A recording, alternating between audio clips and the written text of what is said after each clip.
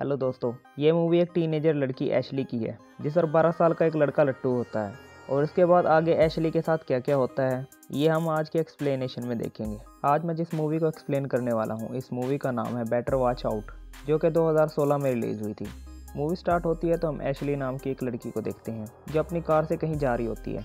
और ड्राइव करते हुए एशली को उसकी मोम की कॉल आती है, जिन्हें वो बताती है कि वो आज रात बेबी सीटिंग के लिए जा रही है। दूसरी तरफ़ हम उसी फैमिली को देखते हैं जहाँ एशली बेबी सीटिंग के लिए आने वाली थी। और यहाँ पर हम मिस्टर एंड मिसिज लोनार को देखते हैं, जो कि आज रात पार्टी के लिए बाहर जा रहे थे। और इनका बेटा लूक होता है, जिसे एशली काफ़ी अरसे से बेबी सीट करती आ रही थी। और लूक अपने रूम में अपने बेस्ट फ्रेंड जैरेट के साथ रोमांटिक मूवी देख रहे होते हैं। और तभी लोग जैरेट को बोलता है, आज रात एशली बेबी सीटिंग के लिए फिर से आ रही है, और आज रात मैं उसके साथ खूब इंजॉय करने वाला हूँ, क्योंकि लुक एशली को काफ़ी ज़्यादा पसंद करता था, और हमेशा से उसके साथ अल्टीमेट होना चाहता था। अगले सीन में हम देखते हैं कि एशली उनके घर आती है, और लूक के मोम डैड एशली को बताते हैं कि लूक को अब नींद में चलने की आदत है। इसलिए हम डोर के हैंडल के ऊपर एक पेंसिल रख देते हैं, जिससे हमें पता चल जाता है कि लूक अपने कमरे से बाहर निकला है। और ये सब बताने के बाद लूक के मोम डैड वहाँ से चले जाते हैं। और इसके बाद जेरेट भी लूक को आज रात के लिए बेस्ट ऑफ़ लक बोलकर वहाँ से चला जाता है। अब एशली और लूक घर में अकेले होते हैं। फिर लूक एशली को बोलता है कि क्या हम साथ में मूवी देख सकते हैं? जिस पर एशली उसे बोलती है कि तुम जाकर देख लो, क्योंकि मुझे फ़ोन पर किसी से बात करनी है।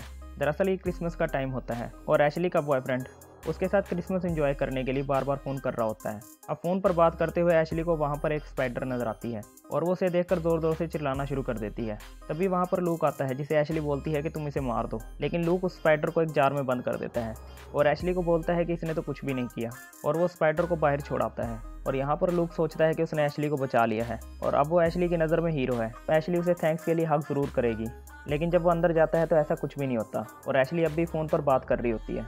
और लू को ये देखकर काफ़ी जलन फील होती है। थोड़ी देर बाद हम देखते हैं कि लूक एक शैम्पिन की बोतल लेके आता है और उसे एशली के सामने ही पीने लगता है और एशली ये देखकर उस पर गुस्सा करती है और उसे इस सब के लिए मना करती है, जिस पर लूक उसे बोलता है कि अब मैं बड़ा हो चुका हूँ, इसलिए मैं ये पी सकता हूँ। लेकिन एशली उसे ये सब करने से मना कर देती है और उसे वो बोतल ले लेती है। और इसके बाद वो दोनों एक हॉरर मूवी देखने लगते हैं। और मूवी देखते हुए लूक के अंदर जवानी फूटने लगती है। इसलिए वो एशली के ऊपर टूट पड़ता है और उसे किस करने लगता है। लेकिन एशली उसे वहीं रोक देती है और कहती है कि तुम अभी बच्चे हो और मेरा ऑलरेडी एक बॉयफ्रेंड है। और ये सुनकर लूक को बिल्कुल भी अच्छा नहीं लगता और वो सैड होकर वहीं बैठ जाता है। थोड़ी देर बाद फ़ोन की घंटी बजती है और जब एशली फ़ोन उठाती है तो उसे आगे से कोई जवाब नहीं मिलता। और अब इसके कुछ देर बाद फ़ोन वापस बजता है। फ़ोन से एक शख्स की आवाज़ सुनाई देती है और वो एशली को बोलता है कि मैं तुम्हें देख सकता हूँ। ये सुनकर एशली को लगता है कि उसका बॉयफ्रेंड उसके साथ मज़ाक कर रहा है और वो इससे बहुत ज़्यादा गुस्सा हो जाती है, क्योंकि लोग ने पहले ही उसके नाक में दम कर रखा था। इस वजह से एशली काफ़ी परेशान हो जाती है। फिर एशली देखती है कि गार्डन में रखा हुआ सेंटा क्लॉज किसी ने उसकी खिड़की के सामने रख दिया है और इसके साथ ही घर का बैक डोर भी खुला हुआ है। और ये देखकर एशली सच में डर जाती है और वो लूक को पुलिस को कॉल करने को बोलती है। पर एशली का फ़ोन लूक के पास था और लूक एशली का फ़ोन उसे देने के लिए उसकी तरफ़ फेंकता है। लेकिन वो फ़ोन सीधा जाकर इक्वेरियम में गिर जाता है और ख़राब हो जाता है। तभी घर की डोर बेल बजती है और एशली डोर के पास जाकर बाहर देखने की कोशिश करने लगती है, लेकिन बाहर कोई भी मौजूद नहीं होता। इसके बाद लूक हीरो बनकर दरवाजे के पास आता है और बोलता है कि तुम जो कोई भी हो, हमें डराना बंद करो, नहीं तो बहुत बुरा होगा। और इसके बाद लूक बाहर देखने के लिए दरवाज़ा खोलता है और तभी लूक पर आकर कोई कूद जाता है, जिससे पहले तो वो बहुत डर जाते हैं। फिर लूक देखता है कि ये तो उसका दोस्त गैरेट है और इसके बाद वो दोनों जैरेट पर काफ़ी गुस्सा होते हैं, क्योंकि उन्हें लगता है कि इतनी देर से गैरेट ही उनको तंग कर रहा था। लेकिन गैरेट बोलता है कि मैंने तो कुछ भी नहीं किया, मैं तो अभी आया हूँ। अभी इनके बीच बातें चल रही होती हैं कि ऊपर उन्हें किसी के आने की आवाज़ सुनाई देती है। फिर वो तीनों ऊपर जाते हैं और देखते हैं कि वहाँ पर कोई भी नहीं होता।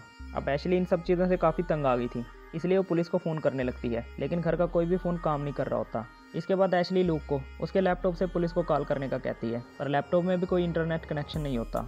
अब एशली के पास कोई और रास्ता नहीं होता, इसलिए वो सोचती है कि वो खुद कार के ज़रिए पुलिस स्टेशन जाएगी, लेकिन बाहर जाकर वो देखती है कि उसकी कार को भी किसी ने पंचर कर दिया है। इसके बाद जैरेट ऊपर से एक ईंट लेकर आता है, जिस पर लिखा होता है कि अगर तुम यहाँ से गए तो तुम मरोगे, और जैरेट की ये सब देखकर हवा टाइट हो जाती है, और वो घर से भागने लगता है, लेकिन उसके घर से बाहर निकलते ही एक गन शॉट की आवाज़ आती है, और जैरेट वहीं गिर जाता है। अब ये सब देखने के बाद एशली भी काफ़ी ज़्यादा डर जाती है, और एशली ल्यूक को लेकर एक कबड़ में छुप जाती है, और थोड़ी देर बाद वो देखते हैं कि एक स्ट्रेंजर आदमी एक बंदूक लेकर वहाँ आता है और वो उन दोनों को ढूँढने लगता है। एशली और लूक काफ़ी डरे होते हैं और उन्हें लगता है कि उनकी मौत काफ़ी करीब है। तभी एशली की नज़र उस स्ट्रेंजर के मास्क पर पड़ती है और वो ये देखकर लूक से पूछती है कि ऐसा मास्क तो तुम्हारे पास भी है?